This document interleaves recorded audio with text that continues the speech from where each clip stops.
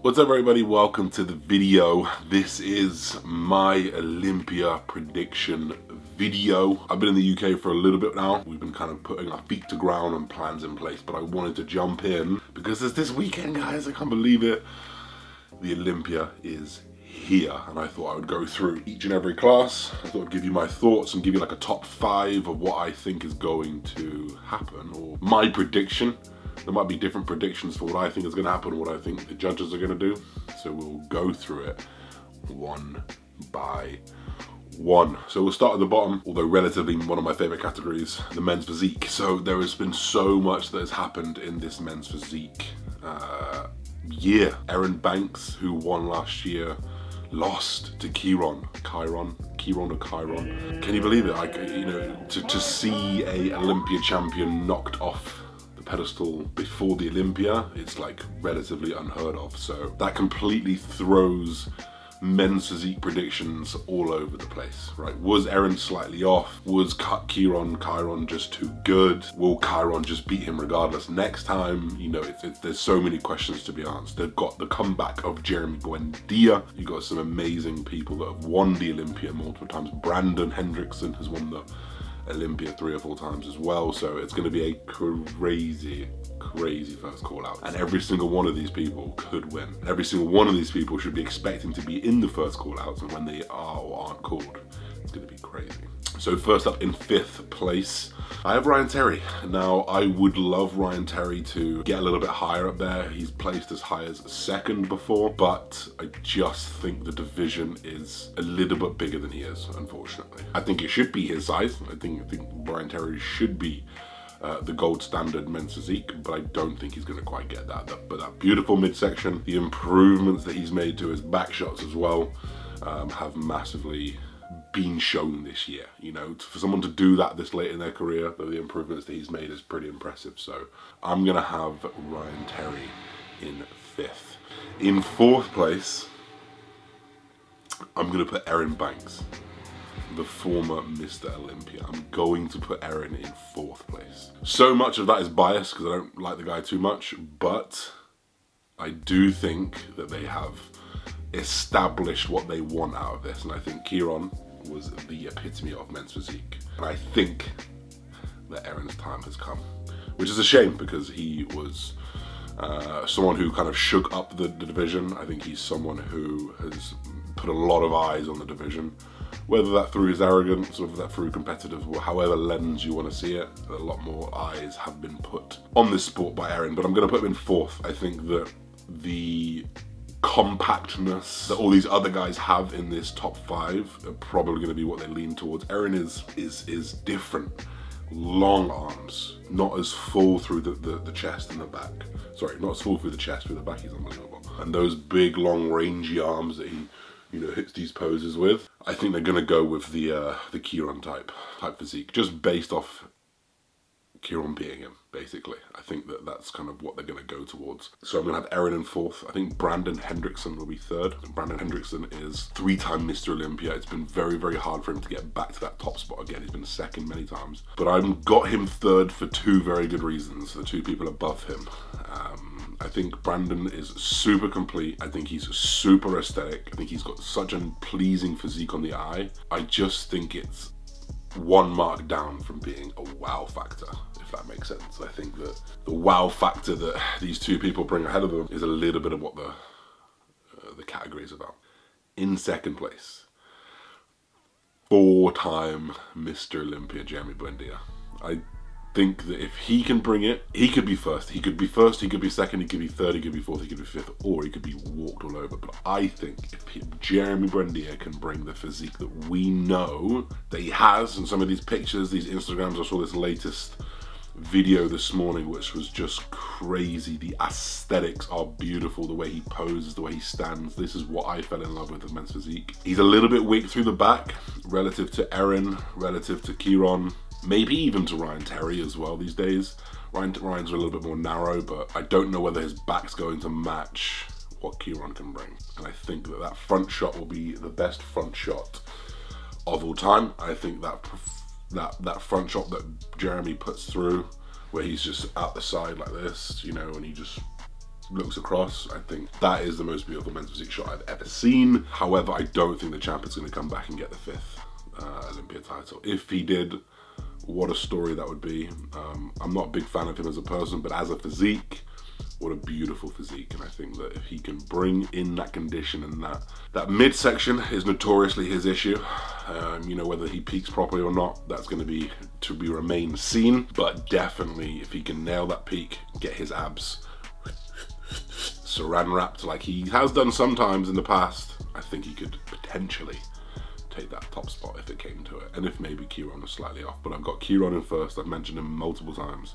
He beat the last year's Olympia winner. He took this year to actually go to Classic. Maybe that was what he needed to get the the muscle and to fill in the gaps that he had been left from the year before. And wow, guys, his back was better than Erin's. Like, eh, there was talks of Erin's back being unbeatable, and no one was ever going to come close. I think Kieran's back was better, and I think his front shots are better. I think he's more compact. I think he's more aesthetic.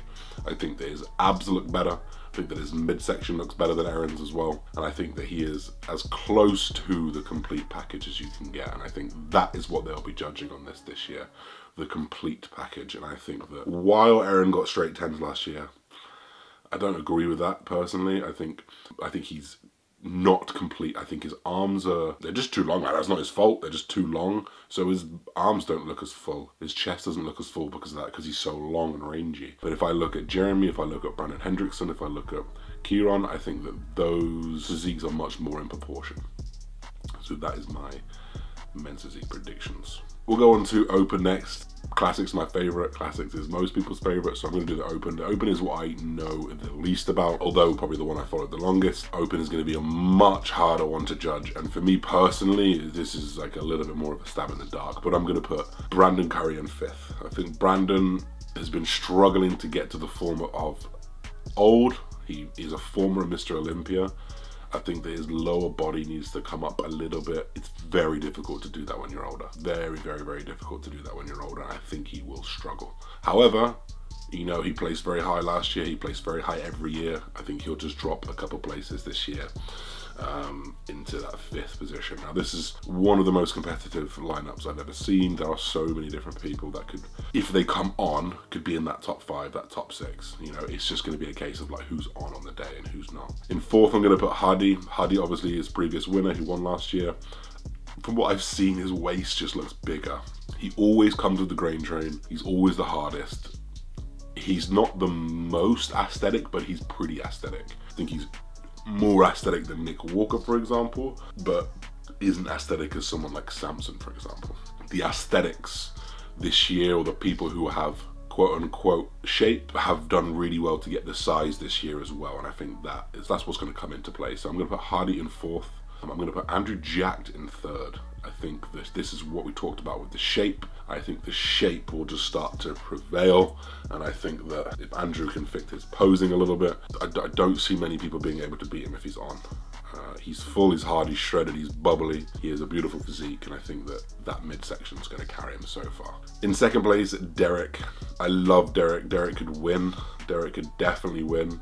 I just don't know whether the balance top to bottom, front to back is going to be there. He is notorious for just an unbelievable back, but you know, does the front match? Do the legs match? Yet to be seen. We'll, we will find out. Like like I said, guys, these could go any way. And if someone comes with something we haven't seen yet, and, and the thing about these open guys is they don't share a lot. They don't post physique updates that often, um, apart from a few these days. Samson being one of them, for example. Nick Walker every now and again. But these other guys, Derek, Andrew, Hadi, anyone else who's probably in that top six to seven, Hunter, like they, they, they don't share too much of their physique. Just an open guy thing. They're already big enough. They don't need to uh, they don't need to share the share the journey as much as us little boys. So Derek in second, he always comes crisp, he always comes on point. We know he's gonna be peaked well.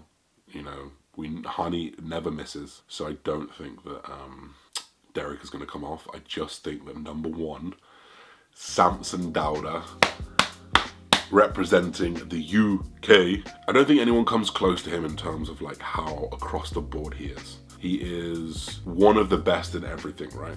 Back shots, one of the best. Front shots and abs, one of the best. Front double biceps, super aesthetic, one of the best posing. His posing is some of the best the way he presents himself. His muscularity, he's one of the biggest guys on stage. Like he is just so consistently good across every single point. Is he as big as Nick? No. Is his back as good as Derek's? Maybe not. Legs as good as Nick's from the side shots? Maybe not, right? But if you look at it as a spectrum of results, spectrum of judging, I don't think anyone beats him across everything as an average. And it depends whether they judge it like that. It depends how they judge it, but I do think that he will, uh, and hope he takes the win. Classic, the one um, that we've all been waiting for, the one with the biggest differences. Like there's there's there's the new weight caps that are in place immediately. So Chris Bumstead was about a couple pounds under his weight cap last year. Due to the new caps, he can get about three or four pounds. People like Ruff Diesel, people like Ramon and Urs were all able to get up to six or seven pounds of extra muscle. And we know that from pictures of Urs, like he was like 275, 280 in the off season, and he had to get down to like 220, 218 or something. Well, now he can be like 225 and a little bit heavier. So he's got that little bit of room to just not lose as much muscle and keep a bit more. And Ramon, like heavily muscular, can also get extra weight as well. So it's going to shake things up a little bit. In fifth, I've got Breon. I think Breon also got a, a good few pounds. I, I, still think he's a bodybuilder, but I don't think anyone's going to come like as hard, dry as he usually does. He's super crisp, got really nice lines. You know, him in fifth slash, mm, that's it. I don't think that anyone really touches this top four. In fourth, my brother, I'm sorry, I think Urs is going to get fourth. The size is going to make a big difference, but I also think that people ahead of him also get the size, and I think they've got the shape as well. I, I love Urs, train with Urs, love him so much. He's the nicest guy ever. Huge motivation to me. I think he's going to get fourth. And I think that puts Ramon in third. Ramon was pushing CBum for, for first. I say pushing, they were calling him back. He was far, far ahead still, but you know, there was a very, very big reason why that wasn't three, a top three being called out in Ruff Diesel. And I think because Ruff came so far off, but we know from this year in the Dubai Pro where he absolutely killed it, he was off last year and he was off by a lot. And I think if we can bring the Ruff Diesel of Dubai Pro, that Christmas, the aesthetics, the pose and the flow. That's true classic. I, I think his physique is the second most classic physique there. And if he can bring everything else that comes along with the extra few pounds that he's had, I think it's more classic than Ramon. I do personally. Ramon might be more muscular, might be denser, maybe a better back shot, maybe. But I just don't think it's as classic. So I'm gonna have Ramon in third, and I'm gonna put my guy Ruff in second. Of course, the king the five-time Mr. Olympia, soon to be five-time bum, C-bum. I don't think anyone can top him off. I don't think anyone's going to do it until he retires. I do not think anyone will ever get close to him. So to cap those off, guys, men's physique. I've got Kieran, Jeremy, Brandon, Erin, Ryan Terry, one, two, three, four, five. I've got Samson, Derek, Andrew, Hadi, Brandon Curry in one, two, three, four, five. And finally, the King, Bumstead in first, Ruff in second, Ramon in third, Urs in fourth, and Breon in fifth. Guys, I would love to hear your opinion on my picks. I also want to hear your picks. Who have you got? Guys, it's a bit of fun. I'm allowed to be wrong. Like, these are some of my picks. Maybe a little bit of bias in there as well, but, you know, I'm, I'm, I'm really excited for this year's Olympia. I cannot wait uh, for the watch party on Friday. So, drop a comment, drop a like. We'll be back very soon with regular videos. Otherwise, guys, peace and love. Bye bye.